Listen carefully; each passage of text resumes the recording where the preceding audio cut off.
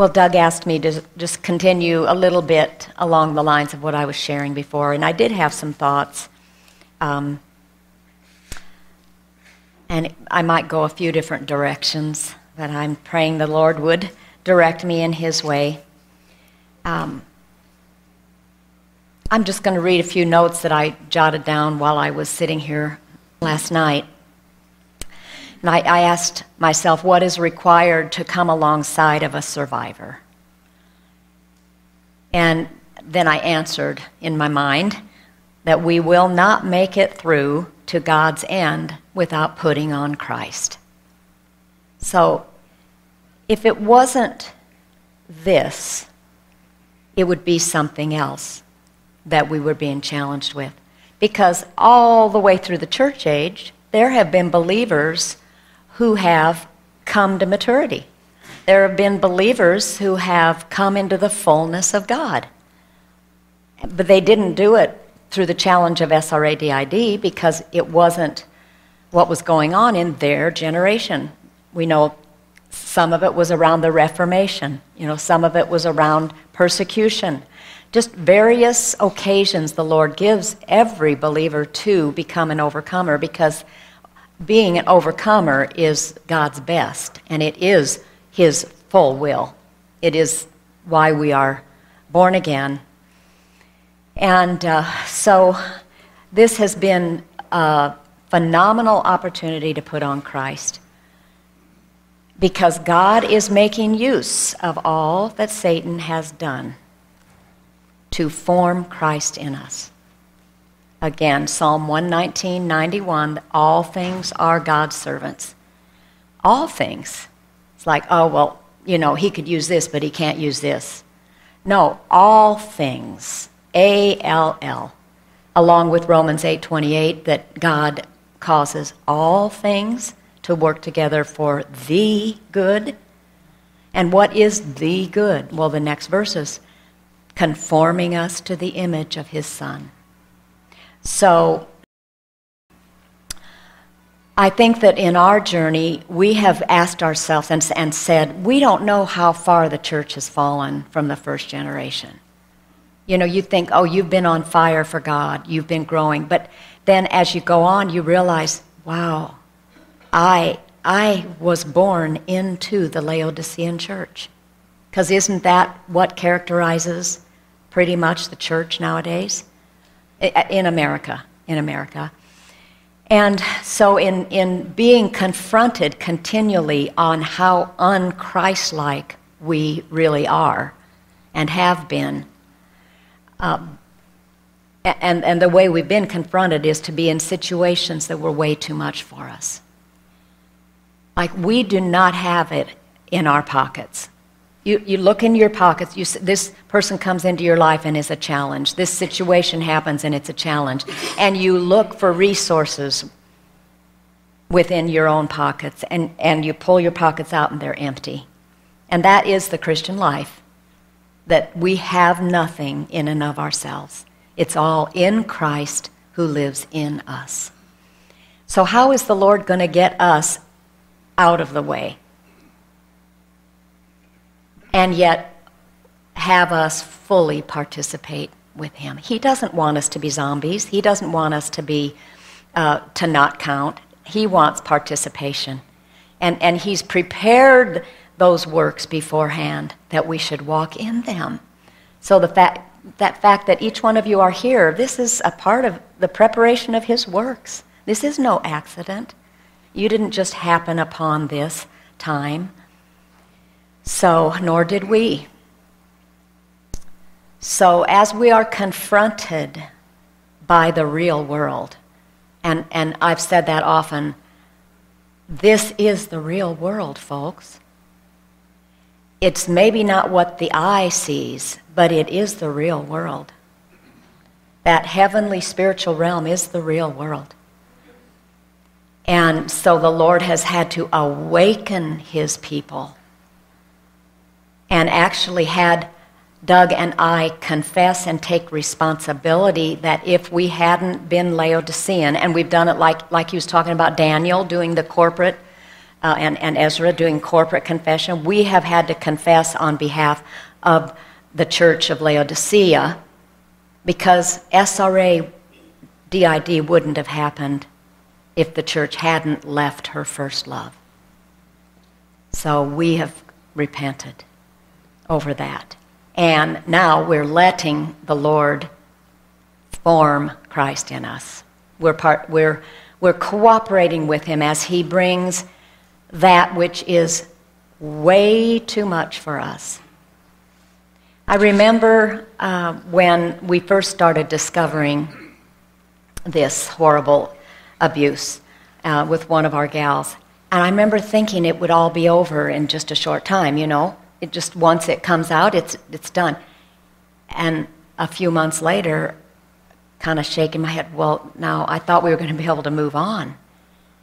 And then a year, and we're still at it. That person's still being restored. That person's still remembering. That's a deeper level, a deeper, another layer, another layer, another layer. And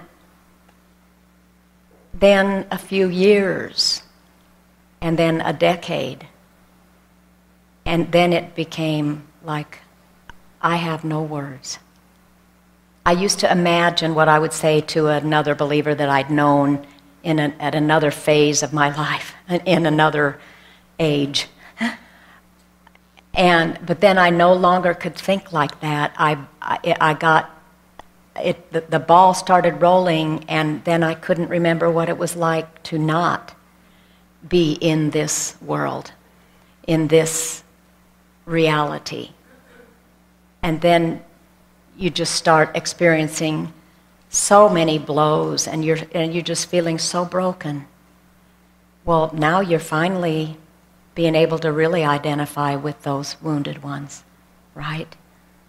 So, why should members of Christ's body be called upon to suffer as they have suffered, and the rest of us are untouched? So, the Lord allows us to stay in it with them so long that it's no longer them and us, it's we. It's members of one another. And I know that um, I've shared this before, and Doug alluded to it about the in Judges the the tribes of Israel going to take the land. The Lord already told them that, that the whole land was their inheritance, but it was already filled with giants, you know. Isn't that interesting? And uh, so it was a couple, uh, couple of the tribes were assigned, you know, to a particular time, but they said, no, I can't remember if I had, oh, I do have my Bible, but um, I think it was Simeon or one of them and they said, We'll go up with you. Oh, I know. It was uh, the tribes that wanted to stay on the really the wrong side of the Jordan. Yeah, yeah. And, and so they couldn't, they weren't, uh, they were going to be allowed to stay there and to inherit that, even though the land was here. But they were told they couldn't until they helped secure the inheritance for their brethren. Then they could come back and settle. And you know, I've just had such great times with the Lord. And in the beginning, before all this happened, I'd spend hours in the Word. I did word studies, and Bible studies. I've, got you know, notebooks filled. I was so joyful in the Lord. It was so wonderful. And I could have chosen to stay there. But instead, by God's grace, not by anything great in myself, I chose to say yes to the Lord. And I had that principle in mind of the taking of the land, and I, I, I, could go on and enjoy the Lord for myself individually, but once I saw and had revelation of the corporate Christ, a many membered body of which I am just a part, then I realized I want to minister to the head I want to minister to Christ. The only way to minister to Christ is to minister to members of Christ and to learn to love that which He loves the most and to help them secure their inheritance and not just be concerned with mine. And so that's that biblical framework is what I bring to you today. The motivation for keeping on going on. Because you think, some of you might think, well, this will be over in a year or two. And what if it's not? Or what if the Lord reveals that there are more people sitting here or in this assembly that have the same background or just other deep wounds? You know, it doesn't get over, and I don't think we should plan on it getting over until we see the Lord face to face, because I think we're in a, a, a decimated generation. I think we're pulverized. I think we're all, we are, there's much wounding. So, if we are going to say yes to the Lord and to serve the will of God in our generation, then we will be, we will be walking with the wounded until we see him face to face, until he is presented with his bride without spot or wrinkle. And we will have been a part of that. What a privilege and honor. So, Doug mentioned um, before the break about the ascension, being ascended with Christ. And we sang this song um, oh, a few weeks ago, and Doug turned to me and he said, We've got to take that to Hawaii.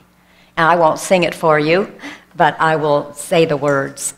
What I've done throughout the years, because we don't, we're so tiny, we're just a handful, and we haven't really had a song leader, a worship leader. We just can't. We're, you know, we're just so tiny. So I'm it, and what I do is pick out the songs and play the piano, and nobody's up there leading or anything. We pray for a guitar player. That'd be wonderful.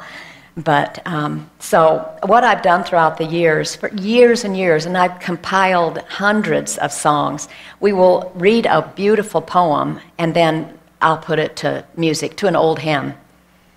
And this is, what is this hymn? What is that? Crown him with many crowns. Crown him with many crowns. Well, this is a song by A.B. Simpson, and, and it's called and it was a poem, I guess. Uh, it's called Rise with Thy Risen Lord, or in other words, The Triumph of the Bride. So here's the words Rise with Thy risen Lord, ascend with Christ above, and in the heavenlies walk with Him, whom seeing not you love. Look on your trials here as He beholds them now. Look on this world as it will seem when glory crowns your brow. Walk as a heavenly race, princes of royal blood. Walk as the children of the Lord, the sons and heirs of God. Fear not to take your place with Jesus on the throne and bid the powers of earth and hell his sovereign scepter own. Your full redemption rights with holy boldness claim and to its utmost fullness prove the power of Jesus' name. Your life is hidden now, your glory none can see.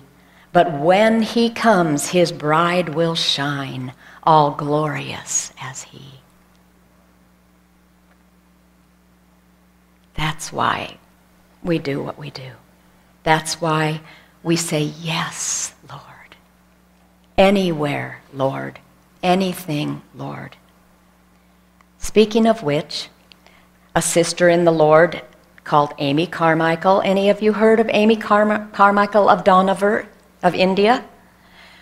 She's my mentor. She is really my heroine. Uh, she, I think, is she from Scotland or Ireland? Can't remember, one of those two. She went to India and never came home on a furlough. 60 years a young single gal ended up uh, crippled from a fall. But what she writes and who she became, she is a, a jewel in his crown. And this is a little quote. It's called Anywhere, Lord, by Amy Carmichael. Don't be surprised if temptations come. The one way out is to throw yourself everything you have to give into the service to which you have been called. Paul spoke of himself as an offering being poured out on the sacrifice and service of your faith. That's what you must be. Nothing held back. And as you give all, you find all. Often his call is to follow in paths we would not have chosen. But if in truth we say, Anywhere, Lord, he takes us at our word and orders our goings, and then he puts a new song in our mouths. Even a thanksgiving unto our God. There is, a, there is wonderful joy to be had from knowing that we are not in the way of our own choice. At least I have found it to be so. Now, that, I mean, why would I cut that out, you know, make a copy of it, cut it out, and tape it in my Bible for 20 or 30 years? Because how many times Doug and I have said, we never would have chosen this, and if we went back, we still wouldn't. I mean, that's because the flesh hates to die. But anywhere the Lord appoints us, he, he calls us to die. He calls us to come after him and lose our life for his sake that we might find it. And I think it's kind of shifting for me now because I remember saying, how, how, how did Peter say, uh, and James you know, talk about count it all joy, and, and Peter talking about rejoicing in your sufferings, and Paul the same. It's like for years we could not do that. We were so full of death ourselves and just so oppressed and under it. I mean, how could we really rejoice? I'm, I'm, I'm sensing a shift that I'm able to rejoice in my sufferings for Christ's sake. Because, you know, I'm seeing the end. And to pick up the cross and follow him for his sake no matter what we get out of it. You know, he will make he's no man's debtor. He'll make sure that we get recompensed, rewarded. It's in his heart. He is such a giver. Our God loves to give. And his heart hurts when he can't give. So don't you want to give the opportunity to the Lord for him to give you the overcomer's crown? If it's there to be had, it's not selfish to want it. I want full reward. And I say, when the times get tough again, Lord, I want my life to have counted for something. You know, I, I can't have gone this far and turned back now. It's like, I, you know, it, I, I, want it, I want it all because you want me to have it all. And it's all going to be for your glory, and I will take my crown and lay it at his feet. So it is all about him. Um, I'm going to kind of be going here and there, and I'm not going to take a whole lot longer, but um, I was going to just mention again, because several of you have been so kind to say that you were encouraged by, by me being transparent with you around the doubt, suspicion, even a, word I didn't discuss with you repulsion. You're going you're going to feel repulsed, not by the brother or sister, but the whole thing. You're not going to, like I'll say, I'll tell, I never want to hear about another sexual experience. I, want, I don't want to hear about another sacrifice. I, I mean, it's too much. It really is too much. And it was too much for them. But it's really too much. But when I say that, it doesn't mean I want anybody to hold back and try to protect me. And they will. If they're sensing that it's too much for you and you're not telling them, you're not being transparent, they're going to hold back. They are so sensitive. They, they take responsibility. And we, through the years, we said, look, it's not your responsibility how I feel. It's not your responsibility that I'm falling apart here or that Doug and I are struggling or this or that. It's not your responsibility. Thank you for your apology, but it's not, don't worry about it. This is between me and the Lord, because it always inevitably is between us and our God. But um, so, how do we really handle the doubt, suspicion, fear, skepticism, repulsion? One big word humility. I had known for 10 years. She was a prayer partner. When Doug and I were struggling in our marriage, she was there for me. She'd come kneel by our bed and pray with me over and over. She'd encourage me. She was always at Bible study, always. I loved her. She was just precious. I come to find out later that because our Christian hearts touched, she paid a price. The whole while, the whole, whole 10 years, she was cult active. We didn't know it. She, she didn't know it in her presenter, but her Christian heart. They would torture her over her relationship with me. But when we found out, you can imagine how hard it was for me. I go, yeah, right. I mean, come on, what's going on? Um, but I at least knew by the Holy Spirit's speaking to my heart that my only safe place was not to take a place of arrogance and think I knew better. Because I would say to my, you know, David spoke to his soul, Oh, my soul, why are you downcast within me? Hope in God, for I will yet again praise him. I, I've spoken to my soul many times. Oh, soul, do not be arrogant. Humble yourself. Do not try to tell her or think in your own mind that you know her reality.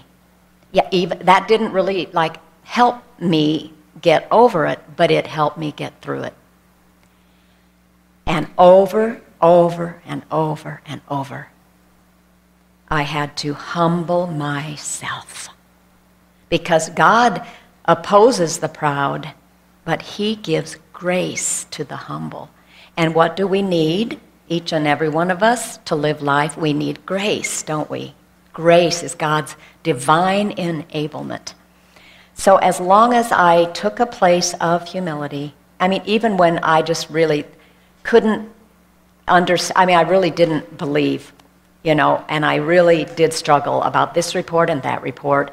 And, but it, as long as I said, Lord, I'm not anyone's judge, and I'm not here to say what their reality is. I made it through.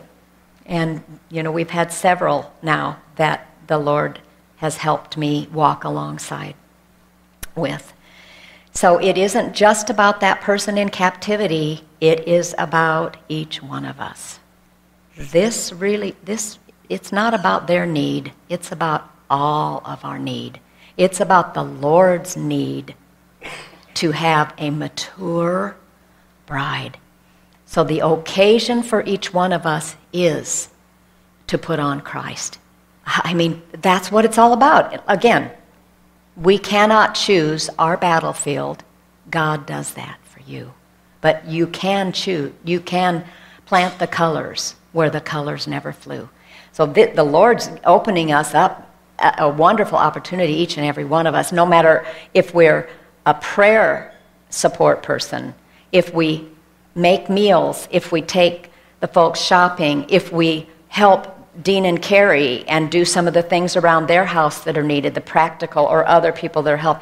Find your place and in humility accept it and don't try to be like the other person. No competition here.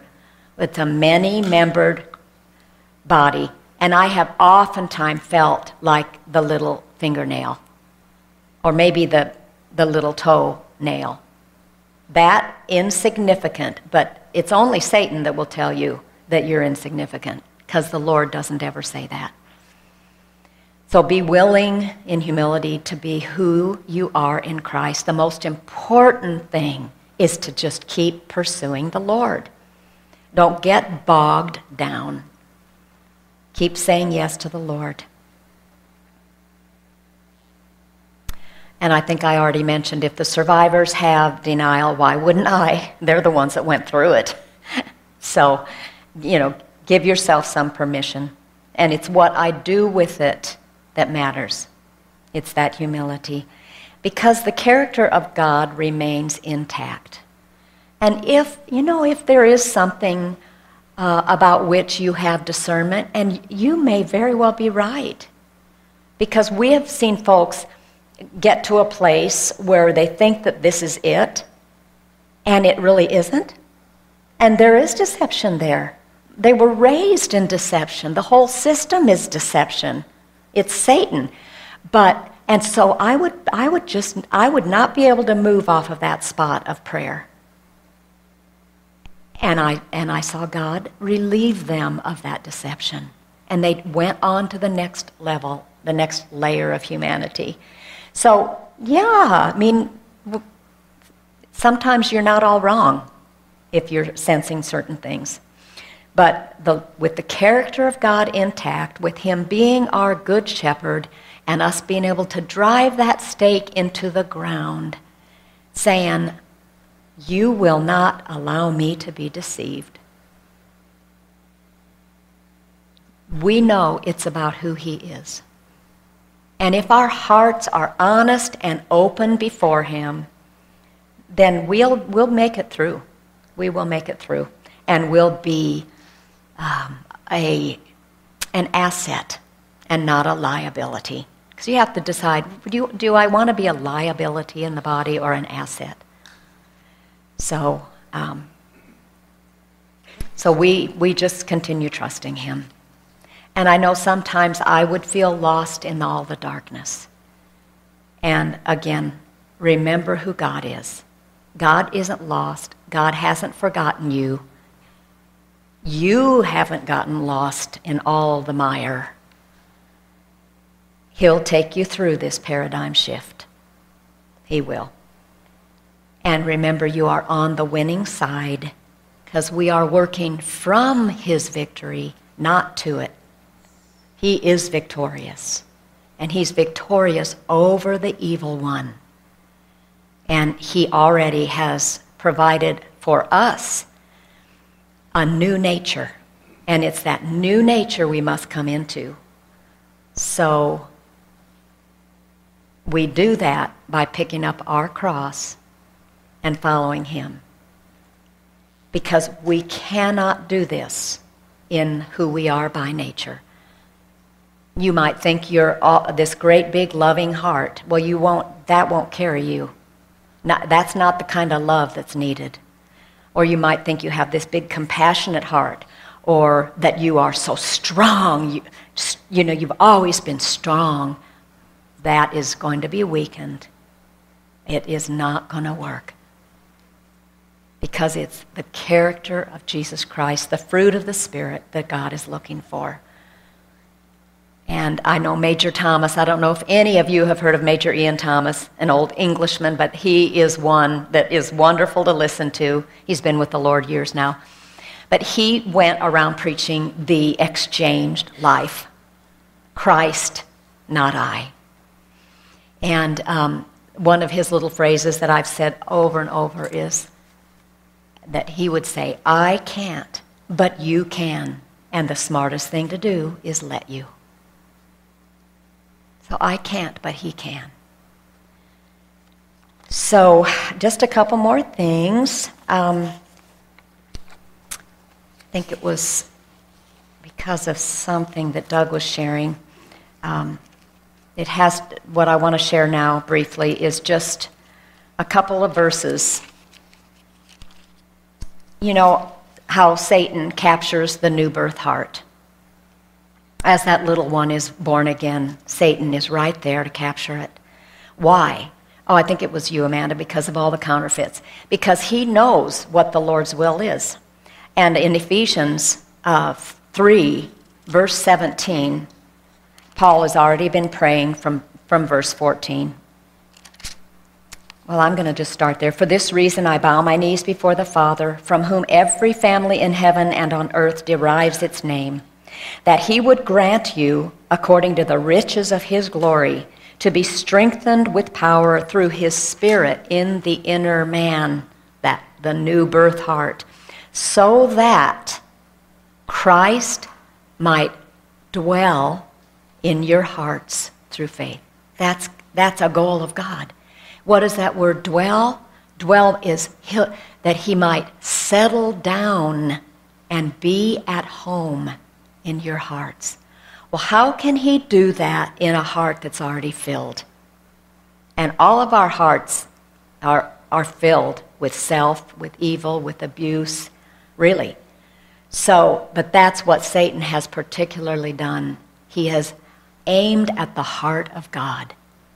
He's, he's done this not because he hates them, but he hates Christ. So what's, he's going to hate and hurt that which Christ loves the most, that little Christian heart. So that verse, along with um, Revelation 3:20, which we all have used from time to time as a, a verse that, that, with which to witness, but it is really a something that Jesus Christ said to his church when he said, "Behold, I stand at the door and knock. If any man should open it, I will come in and dine with him." See, how can Jesus dine with a heart that is filled, that's in captivity? That's these these are this is the reason we do what we do. And along with that, two verses in John, John 14.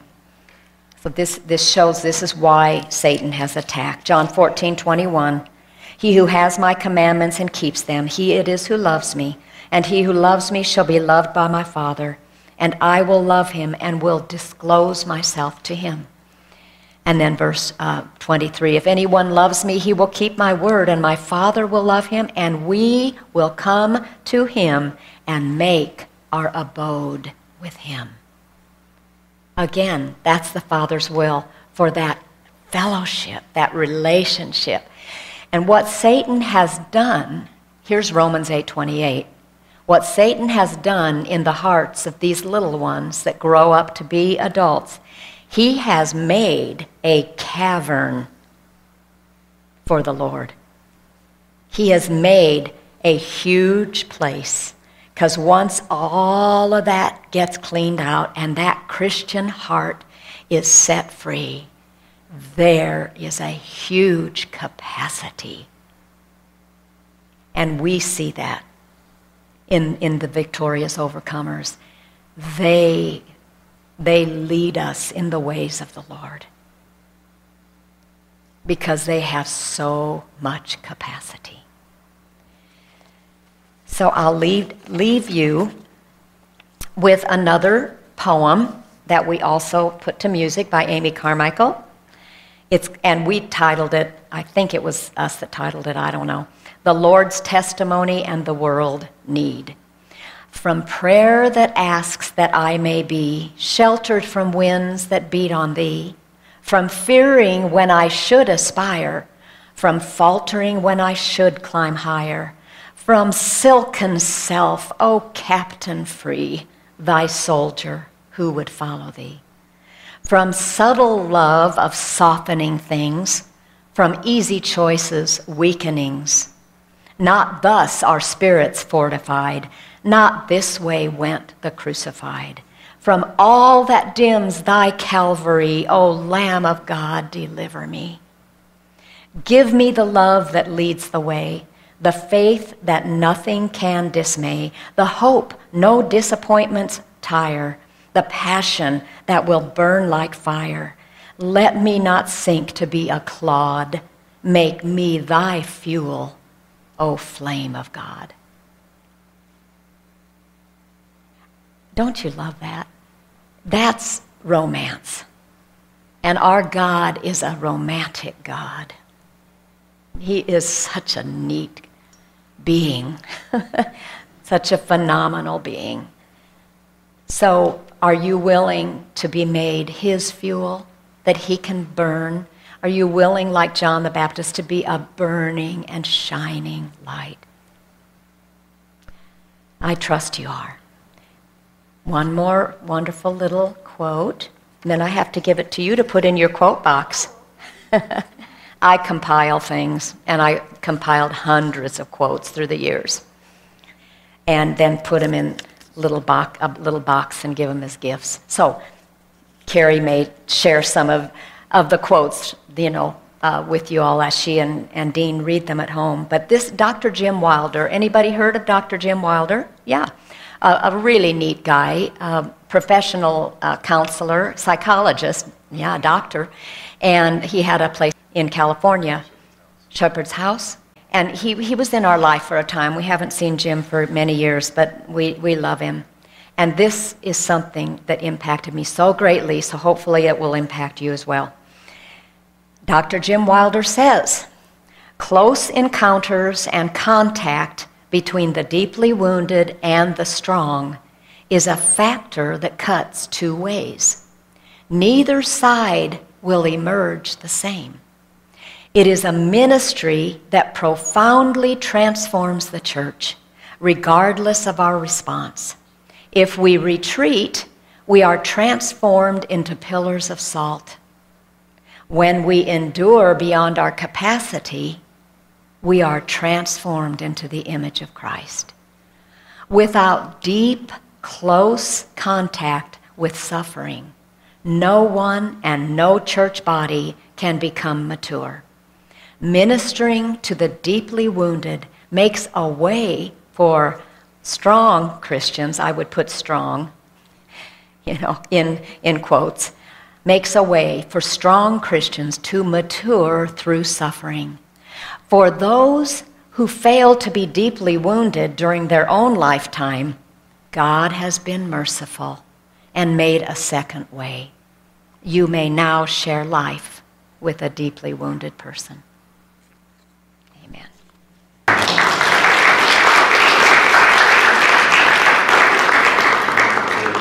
What the Lord has done in, Lori. So it, took a long time in the beginning. And so she said, You don't know when it's going to really quote unquote end. Uh, we're seeing the, the acceleration of the work much faster now. So there is a, a shortening of the trajectory. But once these people are integrated, they're, they're at a level of brokenness that is authentic. It's where Jesus is. These people represent a brokenness that God wants to bring us uh, into so that we are utterly dependent upon the Lord. Utterly dependent. And we are indebted to them for any inheritance that we have gained. Indebted. Truly. So, um, but it will never be easy. It'll never depend on us. It, if, if we think, oh, we've arrived now with our understanding and God has done this and that, we start depending on ourselves, resting on our lees, you know, and there's failure. And when you said it's, it, it's exponentially increasing, or however you said it just now, it's accelerating. I say, could that be because there is more of Christ in us? And he's given, I know he's given Doug so much more understanding. Where does the understanding come from? From the survivors. I mean, he, you know, as he wrestles with God, as he does listening prayer, with their reports, with their persons, with what's happened to them, he gains. And Christ gains. That's the most important thing.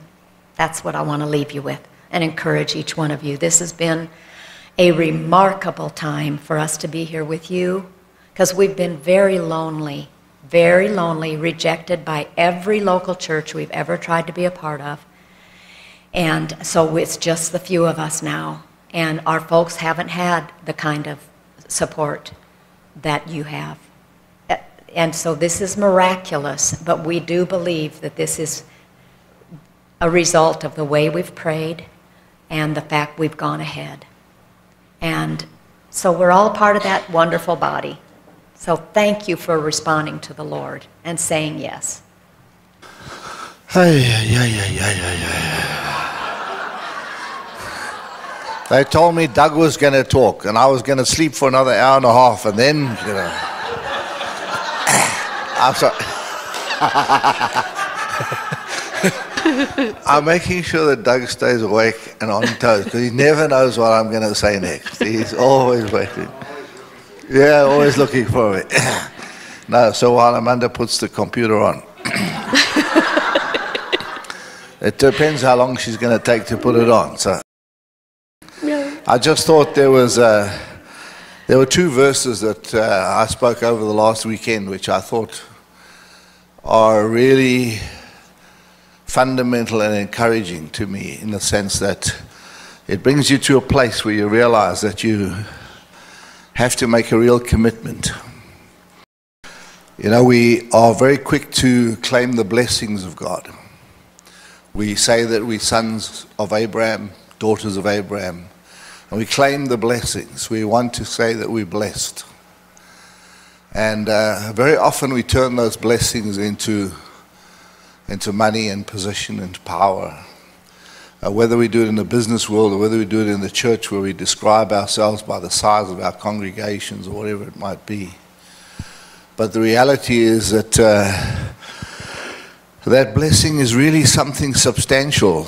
And I, and I would encourage you to look at those words and actually study them to see what lies behind the sand and the stars and the dust and all of those things. But the verse that stood out for me was this verse where where God talks to Abraham and he says to him, I will bless you. I will bless you. And he starts to talk about what these blessings might be. But he says, because you've not withheld the sacrifice of your only son. And so I think it's important for you to understand that if you really want to live in the fullness of who God is, there's the sacrifice that you have to make. And it is the sacrifice of the old man. It's how much we become uh, in Yeshua Messiah. And so it's very easy to say that I've given my heart to Jesus. It's a very quick statement. But it's that walking out of this life of giving that's going to be determinant. And I want to suggest to you that the way that verse is written, there's a, a parallel, a, a connection in a sense the degree to which you sacrifice will be the degree to which you get the blessing. Uh, and it's almost a one on one relationship. So look at it carefully. If you're not living the blessing, if you're not experiencing the fullness of what God has for you, then you know, look back and say, What have you withheld? And we, with, we withhold much. It's very easy to withhold my emotions, very easy to hold my intellect, very easy to withhold that which is me. Then another verse that I found particularly important for me this year was the one where Moses goes into the land of Egypt and he wants to to tell the people that we must leave. And these are people that are sons of Abraham in the physical domain. That's important. More importantly, they're physically strong because they've worked for years in terms of being a slave. So there's a physical strength, there's a physical physicality about who we are. But when Moses says to them, it's time for us to pack up your bags and move, they turn around and they say this, and the English translation is pretty poor. It says, We are discouraged and we can't go. And if you go and look back at the Hebrew words that are used there, you'll find that the sentence should actually read this We are devoid of the breath of heaven and therefore we can't go. So, in many cases, we look strong. We stand physically strong. We speak strong. We have strong words, bold words. We can look wonderfully strong in the physical domain. But the real question is is the breath of heaven, is the Ruach, the Holy Spirit, really inside of your spirit? Because if He is, you'll always see the opportunity in the tribulation. Amen. Amen. Thanks, love. Hallelujah. It's, uh, it's so good to always have Roly with me because, you know, when I need to do something else, then I quickly give him the mic and uh, then he can just fill in. Okay, I want to share with you on Neshama. I'm not going to be long because I want to let Doug share his heart, but so many people have asked we've heard about the memories of, of the very, very wounded. But if we look at a scale, you know, we are all wounded, but we are different places on the scale. My dad was an alcoholic, and, you know, all the pain and the trauma that comes with alcohol, and um, he was very aggressive and, and, and abusive, and, you know, um, he was violent and he threatened to shoot us as a family. And so, all of those wounds, each one of us has a story to tell. We all come because this world is broken, our parents have been broken, we get broken in the process. So, whether it's a teacher, that humiliated you, you know, whatever, somewhere along the line, we have a story to say of rejection, abuse, you know, whatever it is that went wrong in our lives, where we weren't nurtured, where we weren't blessed, where we didn't get the hugs that we should have got as little children, where we didn't have a safe place to be.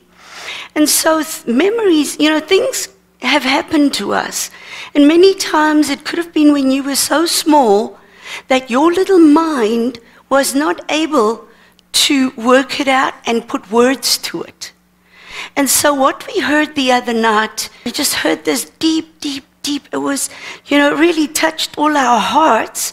And it, it, it was pre verbal stuff. There weren't words. Because their little minds, they were too small to have words to what was going on. And so all they could do was try and express tears. And, and so sometimes, you know, we were not allowed to cry. You wanted to cry, and you were told, come on, stop it, get up. Cowboys don't cry. And especially men had to shut down their emotions and harden their hearts because I've got to be tough. I've got to be strong. And so, you know, we, we're ashamed of tears. I remember, um, you know, in, in, in my life as a child growing up, it was, you got to be strong. You, you, you don't cry. You don't show people weakness. So you, you got to keep face. And so when I would cry, I would cry alone. Nobody must come and even try and comfort me because I'm uncomfortable. And even in our married life, you know, where, where it would, really, I was so used to hardening myself. And so I don't want to show emotion. And if it got too much for me, I would go and find a corner and I would sit and cry and, you know, just, just feel so hurt and sorry for myself. And Roly would come into the room and he'd say, What's wrong? And then I'm wiping the tears and I'm saying, I'm fine, I'm fine, I'm fine. Everything's fine. And, and I remember, you know, with my children, um, I didn't have the compassion and the mercy with my children at all because I was hard. I was hard. And so there was no mercy for me. And, and so you don't, you don't have anything to give what you didn't receive. And so we grow up hard. We grow up with no compassion. And so we try and make our children tough. You know, stop it now. And we don't meet their needs. And so we hurt. I hurt my children and I lost the hearts of my children because I was so hard. They didn't come to me where mommy should be nurturing, where mommy should be hugging and understanding their pain, you know, and holding them. They didn't come to me. They went to Roly. And so I had to face this. I had to face these things. And, and, and so, just as I share a little bit of my story, so you have a story. And I remember with, with my daughters, they would say to me, Mommy, we see other mothers crying. Why don't you cry? Oh, that challenged me. And I said, God, will you please help me? Because something's gone missing in my life that should be there. That's part of my humanity tears are part of my humanity. And so I, I had to deal with the hardening and what happened. And I said, Father, when did it start? And the Lord took me back, showed me a picture. I was a little girl. And I would wait for my dad to come back from work. And I would see him and I'd go running to him, Daddy, Daddy, Daddy. And I'd get to him and he'd push me away. And the next day I'd run again, Daddy, Daddy, Daddy. And Daddy would push me away. And I tried it a few times, and we're not made for rejection. And so what happened was I didn't lift my arms anymore. And I said, Well, if Dad doesn't want me, I don't want him. And so all those wounds, all those things that come upon your life, and how you harden up, and I said, Lord, please help me to love because I don't know how to love.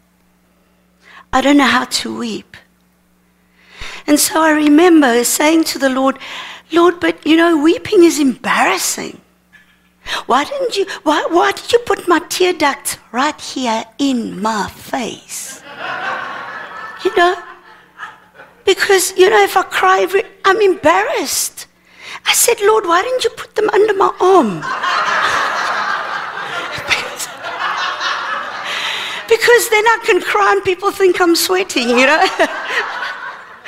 I was so embarrassed with this weeping. And then the Lord said to me, But Amanda, I've made you as, as a human being and, and weep with those that weep. And I said, Lord, I don't understand that. Nobody wept with me. Nobody was there for me. I didn't know how to get onto my dad's lap. I didn't understand that. So, so there was a process that I had to learn. You know that there's a there's a place for weeping. And when I saw you guys weeping the other night with these precious girls here right in your midst, and, and your hearts were touched, it was so beautiful, so beautiful. And so, you know, it's that come I've got to get my humanity back.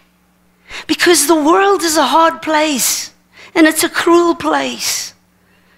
And so I need to understand how do I get to this place of humanity that I can get back my femininity that I, have lost because I had to be hard and I had to be tough and strong. And so even Jesus wept. And so uh, we got to understand this whole thing about Neshama.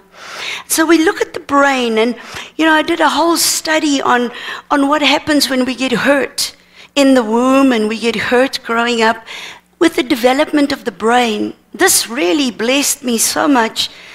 And, you know, to study the brain and to understand trauma and what happens to the brain. And so, what I want to explain to you is that the majority of your brain is the subconscious, is that which happens on, on the back burner. And so the conscious mind is just a little rim on the outside. And then you've got the subconscious mind. So most of the things that have happened to us was pre-verbal and it happens subconscious. So in other words, if you come into a room, you're going to be, um, you know, you can, you can look around the room, but what, what is really much more prevalent you scan, you scan the room. Is this room safe? Is it okay? Is this a safe place? Is it all right for me to be here? So those are the things coming from deep down, deep down, far away, which is what is determining my life, the way I live life, what is driving me. So you've got the subconscious mind part, and then you have the soul area. And then if we look at the soul area, then you have going deeper, you've got the spirit, which is human spirit. Okay? And so, human spirit, Derek Prince broke open a scripture where he taught us that the human spirit can also be defiled. Because I thought if you're born again, nothing can touch my spirit. But that's not true. There can be ties and there can be the, the, all the generational stuff happen with my spirit man. So I want to encourage you that when you break soul ties, don't only break soul ties, but break soul and spirit ties. Okay, because we connect, we relate with each other on soul and spirit. So don't just look at the soul ties, the spirit ties are there too. But within the human spirit, there is a part where God breathed his very essence, that which is what he's made of, he breathed into you, and that is what we call the neshama. And so the programmers, perpetrators have made a study of the human being. And they have pushed the human being, and uh, there, there's medical uh, studies written down that you can read up about how they would take a person and you know, it sounds very cruel. But what we know of the brain and neurology and all sorts of things today has, has been a price. So they would, they would tie a person down because you know, it's what they're going to do to this person now. You can't just lie there without being tied and held down. Because they would take the person and then have them awake and then open up the skull. Okay? And then open up, and then they take a scalpel and they will start little by little taking pieces of the brain and speak to the person and say, What do you feel now? Okay, my, tum, my toe has gone numb. Okay, this area touches this. And they'd have an artist drawing everything and marking every single thing. And that's how they could find out in the brain where is what. And so they got to the last 300 cells of the brain stem. And now they've already dissected everything and they've get to the last 300 parts of, of the brainstem. This is now the connection between the mind, okay, and the spirit. There is now this 300 cells. It is now, the person is, has got no other brain but that left, the brain stem. And suddenly a voice speaks out of this person and says, if you touch that, the person's gone, the person's dead.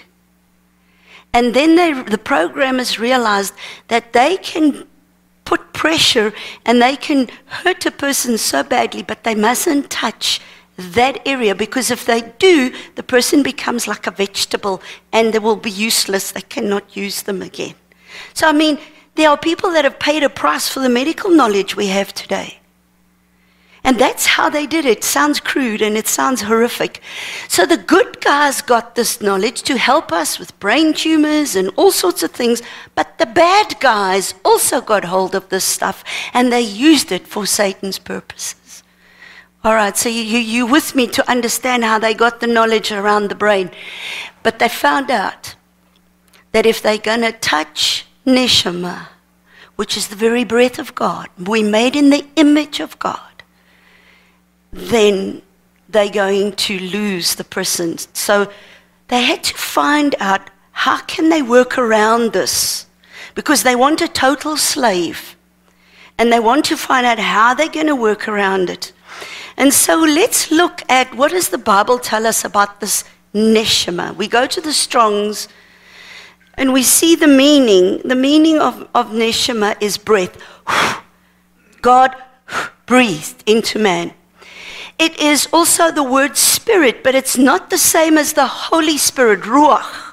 It's not the Ruach, it's spirit. And then Neshama is the God created breath of life. So Genesis 2, verse 7 and then God formed man from the dust of the ground and breathed into his nostrils the breath or spirit of life neshama, and man became a living being. And so, very clearly, we see it's got to do with a breath, the blowing, okay, that is inside of us. So, you have the human spirit, but you've also got a part right inside of you, which is what is called neshama, which is where I'm made in the image of God.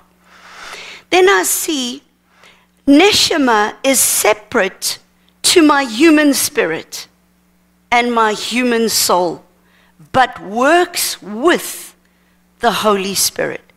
So if you and I want to find out the memories that happened to us, I remember praying with a guy that came and he said to me, Amanda, I have such fear of heights.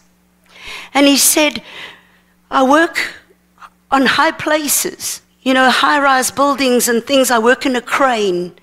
And I have such fear I'm going to lose my job because I can't handle it up there anymore. The height is too much. And, and, and jobs are scarce. And, and, and please, will you pray with me? Because I don't understand, but I can't take it anymore. It's getting so bad. So we prayed and we said, Lord, please show us what happened. You know the source of this fear. So, Holy Spirit, we don't do hypnosis, okay? So it's not hypnosis. We are working with the Spirit of God and we're trying to find out what happened. So he has a picture and he sees himself in, in his mother's womb and he sees her taking a needle and she's trying to abort him. And the falling, you know, the whole sense of falling, and that was where the fear, the source of the fear of heights and falling was coming from. So we, we prayed. I mean, I believed him. He saw it. He, I mean, he manifested the body memories. He, you know, we, we could deal with it and we prayed about it. And he went home and he asked his mother, Mom, is it true? When you, when you heard that you were pregnant with me, did you want me? And his mother just started weeping and she said, I thought you'd never find out. I tried to keep it a secret. She said, It's true. I did try to abort you. Now, in our country, it was illegal, so you had to use crochet hooks. You had to use all sorts of other methods to try and get that baby down because it was illegal. And so, how did, how did that happen? I mean, he's in the womb. She's, he's, he's just a blob of little cells. So, how did he remember? Where does the knowledge come from? It's this neshama knowing that works with Holy Spirit that gives the information that told us what happened. So I want you to understand how neshama works in normal counseling people that have had trauma in their lives and they cannot remember what went wrong. So, this is a tremendous key to work with people just, you know, through normal trauma and pain as well as your SRA people that is the extreme. It's on the other side of your continuum of the scale. So, here we see that's, that's Neshama that's working. And so, Neshama is the God given capacity to know, to perceive, and to understand. So I want to show you Neshama is the lamp of the Lord. Now, where's that in Scripture? We get the Scripture in Proverbs 20, verse 27. And it says, The spirit, Neshama, of man, that factor in the human personality which proceeds immediately from God it is your spiritual umbilical cord connected with God, that's the neshama, is the lamp of the Lord searching all his innermost parts. So, Lord, I don't know what happened in my past. All I know is I'm suicidal. I have fears. I have nightmares. And somehow, from some place inside of me, these things are there. I'm struggling in my walk with you. I do, I'm not, I'm not living an overcoming life. I'm having, I'm really struggling. Father, I can't even read your word. I don't understand. Something's wrong. Something's blocking me. Then, this is such a powerful key. If you understand Neshama, and you can say, well, now we are going to work with Neshama, and I'm going to teach you how to help someone to work with their neshama and the Holy Spirit. So there's no, there's no hypnosis, there's no funny business here. This is absolutely God and the Spirit that He has placed. It is the lamp of the Lord that's now going to search inside of you and shine his light on whatever area it is that you're struggling with. And he brings that um, into your mind that you are able to speak it forth. All right, then we see Neshama gives us life and understanding. And the scripture is Job 32, verse 8, that says, There is a vital force a spirit of intelligence in man, and the breath, the neshama of the Almighty gives men understanding. Isn't that amazing? Because many times we're struggling with things and we don't understand why. But when we work with God and our neshama, which is the image of God, we made in His image, God will give us understanding. And you know, uh, we, we uh, put together a course called Journey to Freedom and Journey to Wholeness. And when people start working through it, and they've got lots of issues. It's like I take you by the hand and I lead you step by step. And then when you get understanding of what went wrong in my life, deliverance comes without anybody praying for you. Just the understanding of the Word of God. The Holy Spirit ministers to you. Job 33, verse 4 says, It is the Spirit of God that made me, which stirred me up and the breath, the neshama of the Almighty that gives me life and which inspires me. All right, so that is so special. It gives me life, it gives me understanding. And so I need to know the role of Neshama. Now, I want to say to you, we went to the Netherlands, and the opposition, which is coming from the church world, by pastors there, just a few there, that have now stood up to come against Amanda Buys and Doug Riggs because they're saying what we are saying about the Neshama, that this is the area they're attacking us.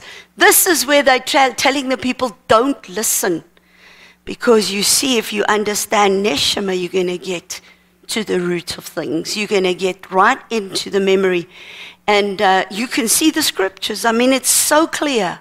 But they're trying to stop people from understanding and working with Neshama, which is that ability that God is the lamp of the Lord. It gives me life, it gives me understanding. Okay, then we see Neshama is the God imparted capacity to know and connect with Him and His life.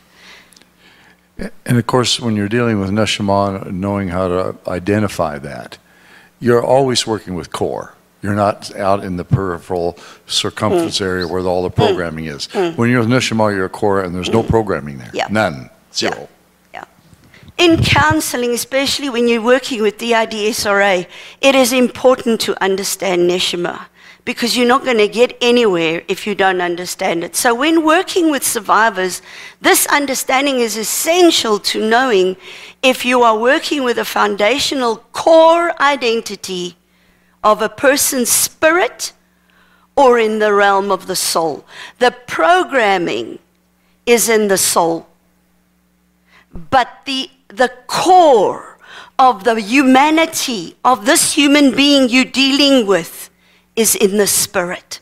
And so the old way of counseling, you know, for example, um, when, when, we would, when we started down this road and they would say, you know, we'd start uh, praying and saying, okay, you know what happened and, and let's get to, you know, we want to help the person. Then suddenly they push a child part forward. And then this little one, and you know, the little ones are so cute. And so, but this little one is a decoy. So if they keep on pushing little children forward and you're not getting to the adult extensions, who are the main perpetrators, and, and, and that's where you need to really work with, but they keep on pushing the children forward, you're going to get lost in programming. So what happens? They push a child forward and they go, hickory dickory dock. The mouse ran up the clock. You know, here we are in the nursery rhyme. So now I go in the, okay, in the nursery rhyme. Lord, what is hickory dickory dock? You know, and we start to get into all sorts of stuff, but at that soulish level. That's not core.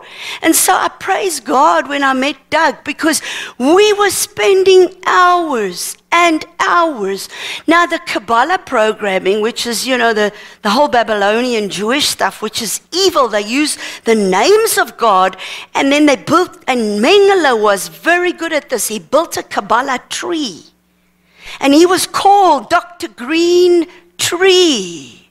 That was his nickname because he would build this Kabbalah tree within the survivor. And so we get this Jewish guy. He's a big guy. And so now he says, right, pray with me. We got to deprogram this Kabbalah tree. So now we've got all the different extensions and everything. I mean, it's quite a big story to get rid of all the stuff in the Kabbalah tree. It's very complicated. So then he says, Stop, stop, stop. There are some bombs put in. You can't go this way, there's a bomb. You can't go this way, there's a bomb. So now my counselors are saying to me, Amanda, be careful, this guy's going to blow up. We can't pray for him. we can't pray for him, he's going to blow up. So, so you know, we start praying. So, Lord, we, what, what color wire must we now? You know, what color wire do we pull out that you won't blow up? You know, my counselors, I tell you, they had such stress. And I just said to them, listen, God's brought us this far. He's going to take us even through this. So let us go. One intercessor ran outside to our veranda. She fell on her knees. She said, Lord, please, mercy for Amanda. Please, Lord, let this guy not blow up. So, you know, we've been down so many of these routes and alleys because we were spending time in the soul, wasting time in the soul. It took ages and ages and ages, and we were just wasting time. The soul is the domain of the mind and the intellect, where all the programming is structured. This is where they put in the phenomenology. Okay, so this is how people then perceive. They can put dungeons and dragons and, you know, all sorts of structures that they build. And I remember going into all of that. And, you know, how does a castle work? Oh, there's a moat, and there's a dragon, and there are, there, there, there, there's a cellar, and there's all these things, you know, how you would, how we prayed with people, but we were just going round and round and round in the programming, wasting so much time. And I praise God for what the Lord taught Doug and how we could then, that's hours and hours of training and being desperate and crying out to God and not to go into the programming. And so the programming, all of it is anchored to that realm of the human spirit that remains dissociated, defiled, and not yet sanctified just check the soulish realm and then the generational curses. Watch the anchors. There they go. There they go. The anchors are holding on to the soul. It's holding the spirit and the neshama. It's holding it. It's blocking it so that everything is then around in the soulish area. It is at this level of the human spirit where generational principalities and powers are attached. So bloodline curses, that which we've been talking about all this time, the iniquity is in the human spirit. All right, so they build up in the structures in the human spirit with principalities, generational curses is in the human spirit. And so you take that part, that neshama, which is, the, which is the smaller part within the human spirit, which is that part which is made in God's image, and you start um, exploring and go, going deeper with neshama. The core trauma and memory is in the neshama, the core of the person. So that is where you've got to get to.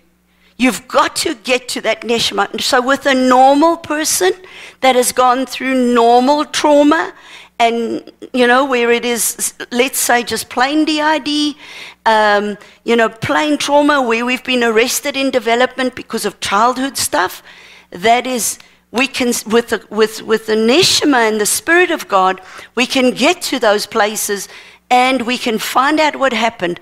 I remember one day i was teaching at a place and there was a, a young lady that was starting to squirm. I told you about the hot seat. You know, the chair gets hot. And she started to squirm. And she came to me and she said to me, um, Amanda, I'm a pastor's daughter and I've been on drugs and a prostitute. I'm living with a guy and I'm ashamed of the family.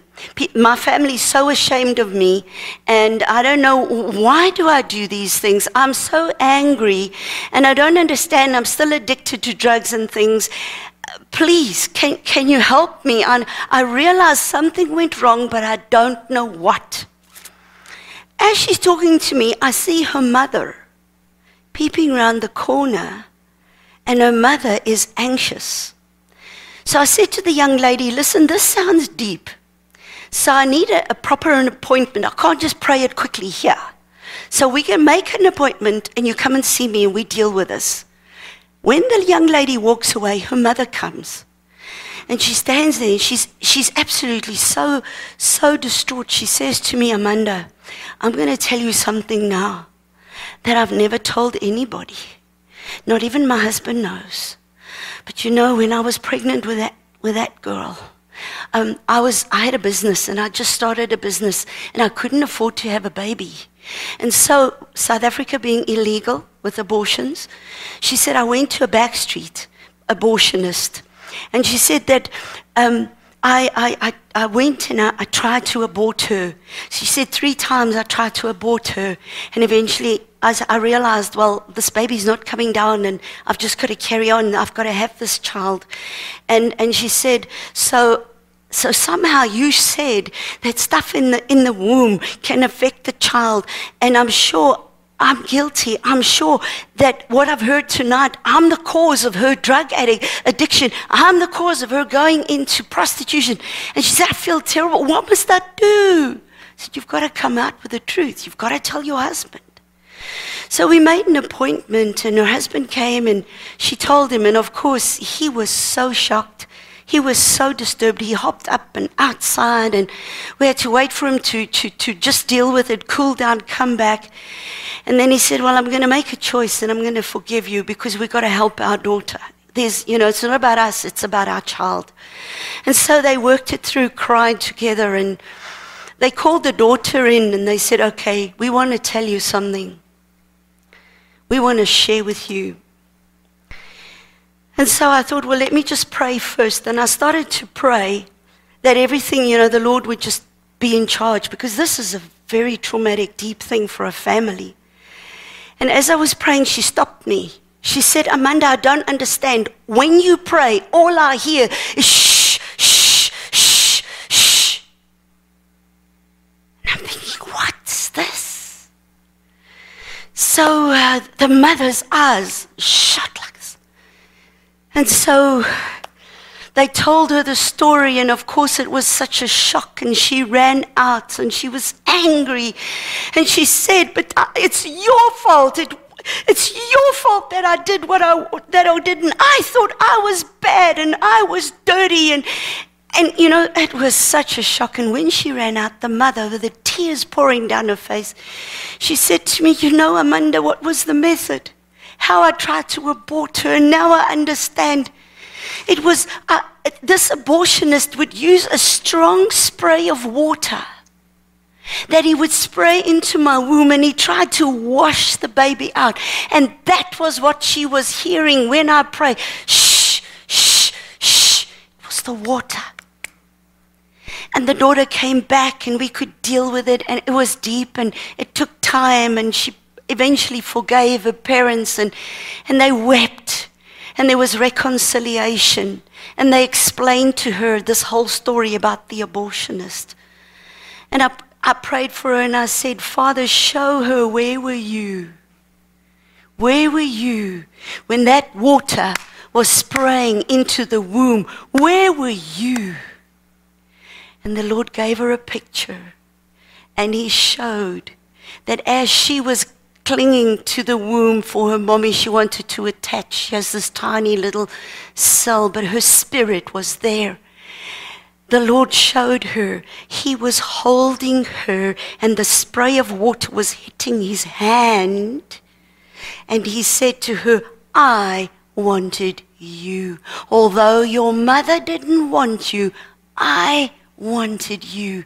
Do you know the healing that came and, and the love that she felt from Jesus? That he was there all the time. He made sure she didn't die, she did, wasn't washed away. And he held her. And that brought such healing. So, where does that knowledge come from? Neshama.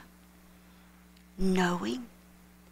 And that is how this tool is so powerful in inner healing when you are praying with people where there were no words, where it was so traumatic, where it was so bad that your mind blocked it.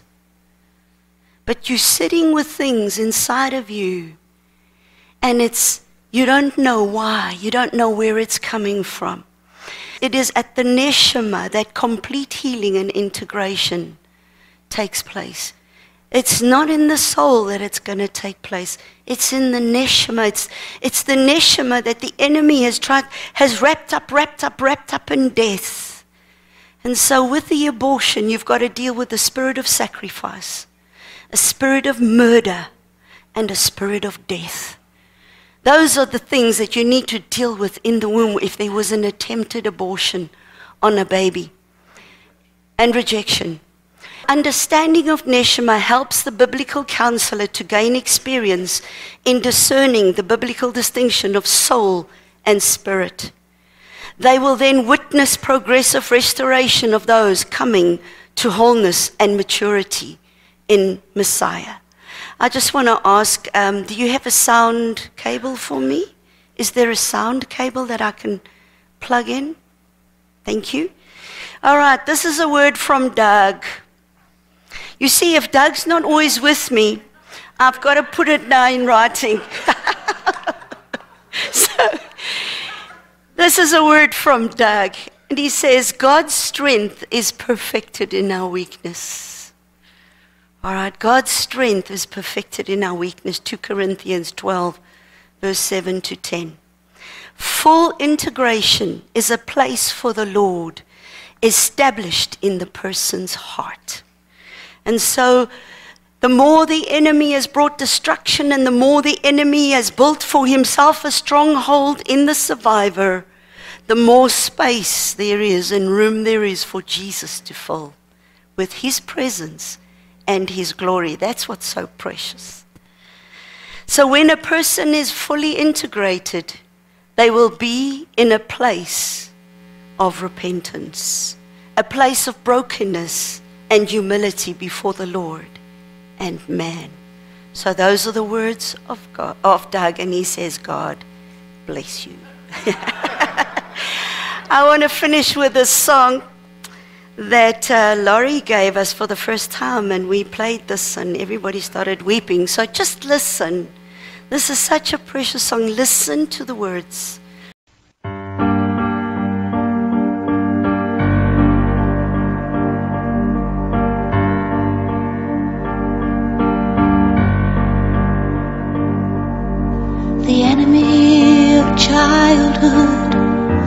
Took me in taught my heart to doubt, taught my heart to sin, and took away my sweet dream that someday there'd be a prince who had the power to take me to his tower and fill my heart with purity.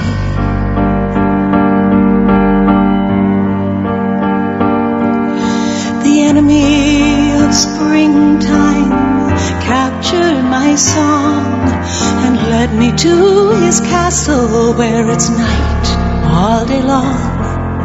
And I've been bound in silence, waiting to be found by someone who'd have the power to take me from this tower where my voice is locked in chains.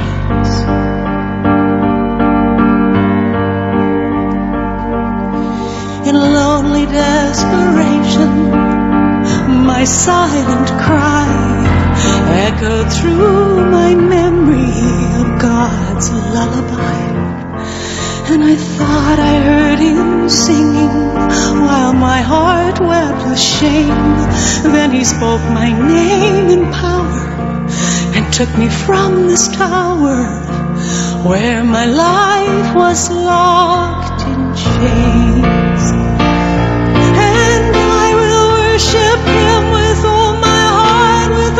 Soul, with all my mind, with all my strength. I'll worship him. And I will worship him with all my hope, with all my might, with all my joy, with all my life. I'll worship him.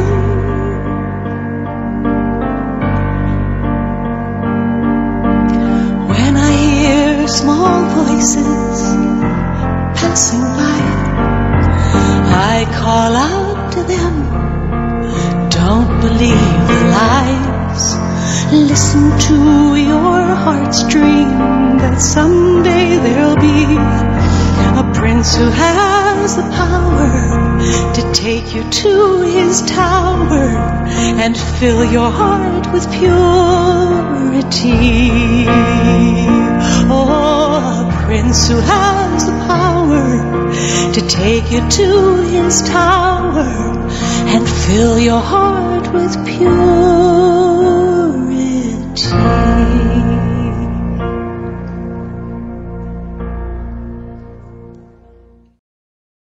Isn't that precious? We have the Prince of Peace that has a tower. It's his name. And that we will run into his tower and we will be safe. So, Father, we just thank you that you've spoken so clearly to us and you've given us this precious gift of having your, your breath, your very breath, breathe into each one of us. That's what makes us human. That's what makes us look like you, our Daddy God. And thank you, Lord, that you've not left us as orphans, but you've sent us the Holy Spirit. And Holy Spirit, you've promised you'll be with us always. And you'll show us and teach us and lead us. And so, Lord, when it comes to trying to find out what happened to so many broken people that come to us for help and cry out and don't understand where their pain is coming from, we say thank you. Thank you for giving us this God given ability, the lamp of the Lord, to search our inward parts and to see what went wrong. Lord, if we don't have this understanding and this gift, we feel so lost and so helpless because we don't know where to begin. Lord, we don't know how to pray. We don't know how to help the very wounded ones where terrible things happen to them and they can't even tell us in words what went wrong. You know all things. You know us better than what we know ourselves. Every hair in our head is numbered. And we say thank you.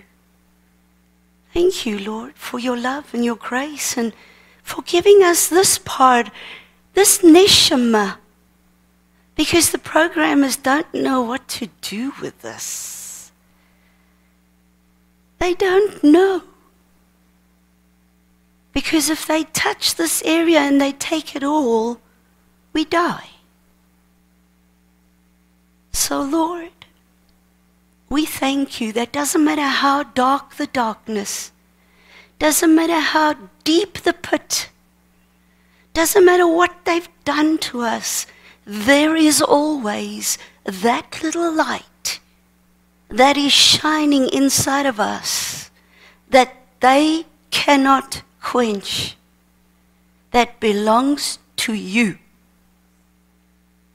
Although it's wrapped up in darkness and in grave clothes, that light, when they have accepted you, when they've been born again, and their little spirits have been connected to your spirit, they have a spiritual umbilical cord with you.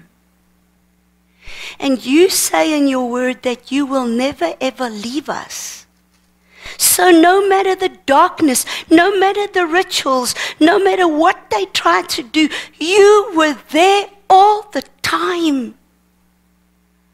And Father, I pray for every counselor, every person who's prepared to say, Here I am, I want to help, I want to be on board to help with, with the wounded.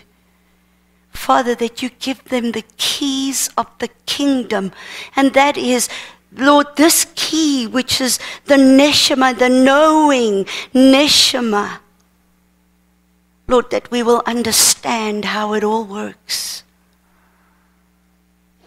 And we'll be able to help those that don't have words for their pain.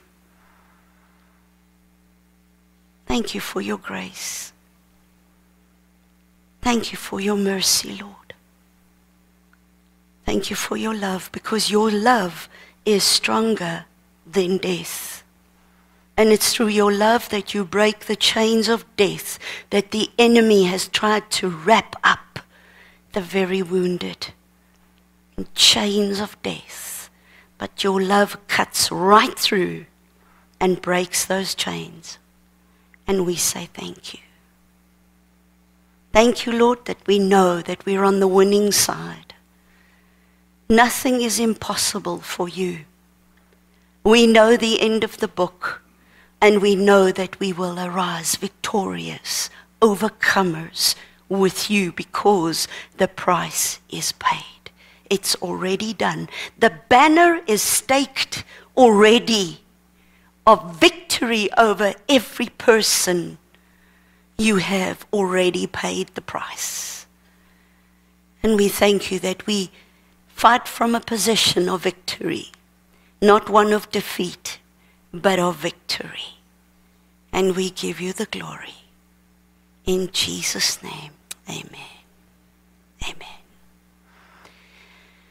If you're saying to someone, let's listen, let's listen to your neshama, what happened? then you say to them, okay, I don't want you to think. It's not about thoughts because the minute you start thinking, you're going into the soul. I'm going to ask you a question, and it's first thought. No thinking.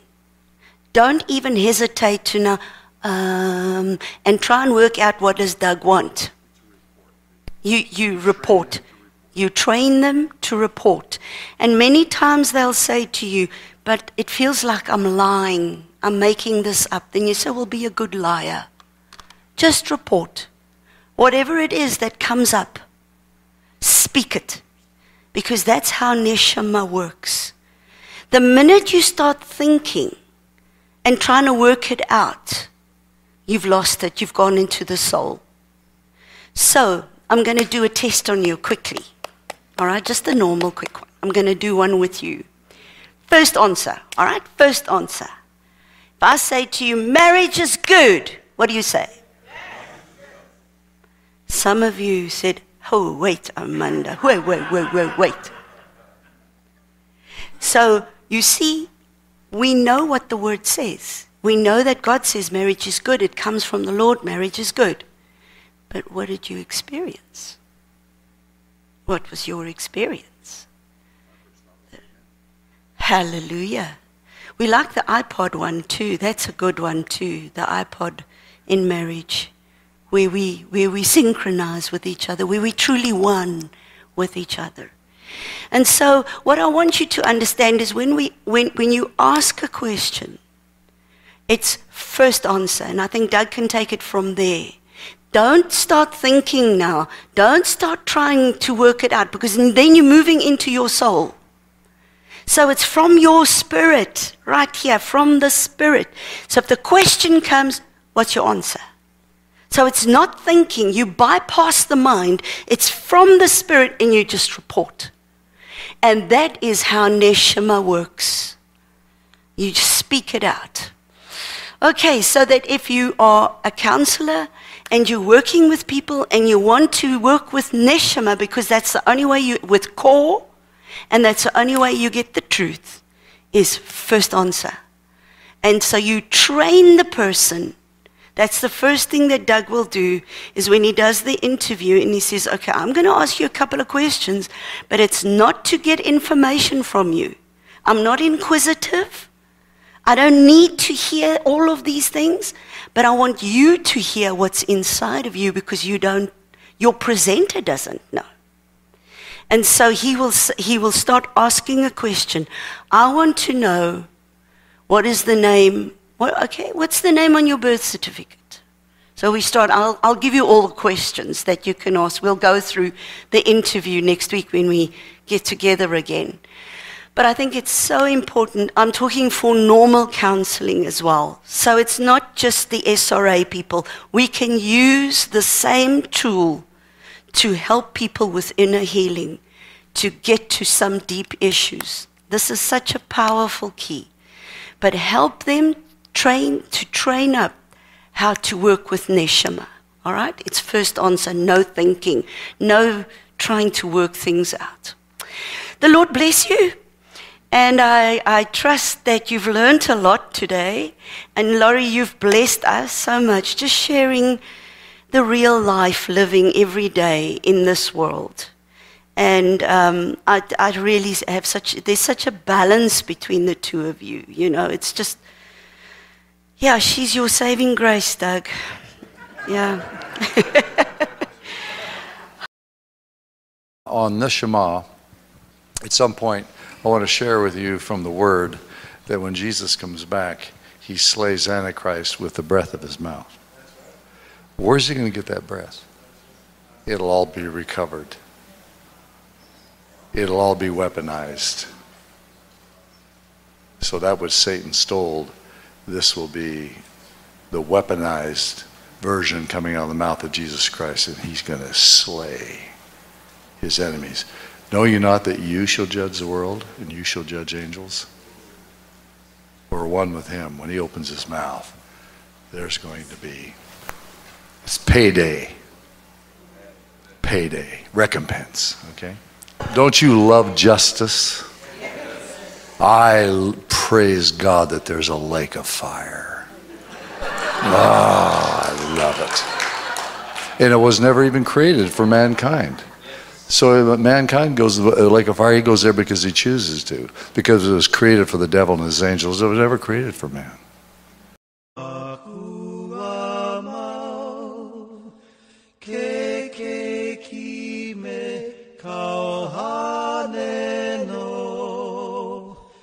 ke akua mau ho o mai ka ipu. Ko ke ia au ko ke lai